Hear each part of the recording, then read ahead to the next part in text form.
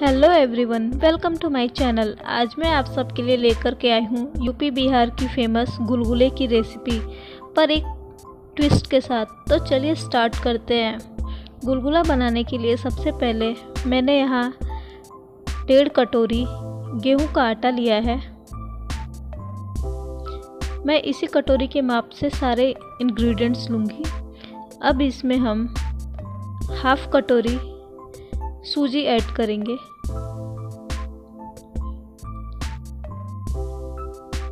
और फिर हाफ़ कटोरी नारियल का बुरादा इसमें ऐड करेंगे।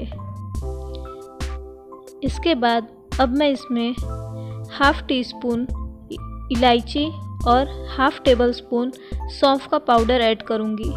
मैंने यहाँ सौंफ और इलायची को बस क्रश किया है, उसका पाउडर नहीं बनाया।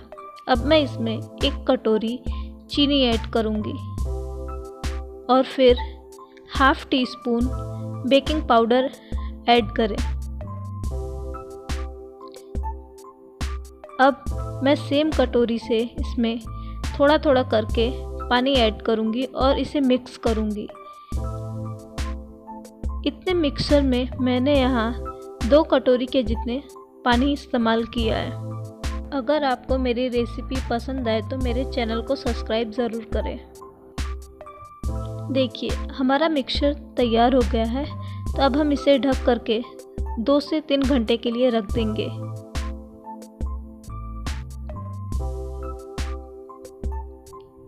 दो घंटे हो चुके हैं तो देखिए, अब हमारा बैटर अच्छे से फूल गया है। इसे एक बार हल्का सा मिक्स करें। और फिर अब हम इसमें दो tablespoon tutti frutti add करेंगे और एक टेबल स्पून सफ़ेद तिल ऐड करके अच्छे से मिक्स करेंगे।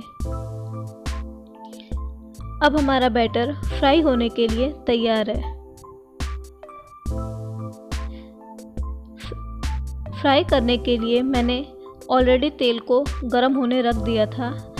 तो अब बैटर के छोटे छोटे बॉल्स बना करके हम तेल में डालेंगे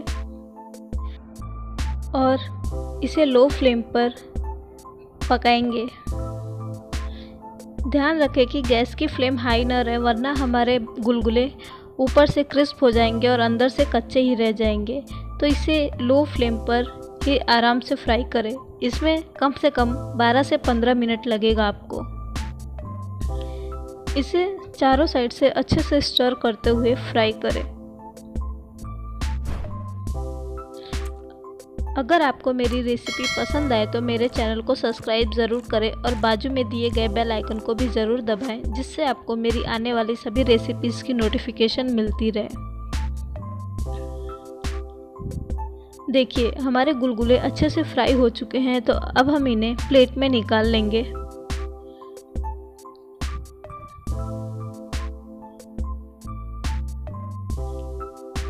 और इसी तरह सारे गुलगुलों को फ्राई कर लेंगे।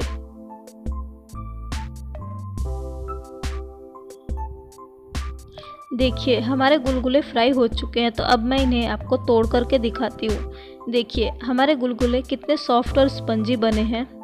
तो आपको मेरी यह रेसिपी कैसी लगी, मुझे लाइक और कमेंट करके ज़रूर बताएँ, और आप इसे अपने घर पर भी ज़रूर ट्राई करें। और साथ ही अगर आपको मेरी रेसिपीज़ पसंद आए तो इसे अपने फैमिली और फ्रेंड्स के साथ ज़रूर शेयर करें. Thank you for watching my video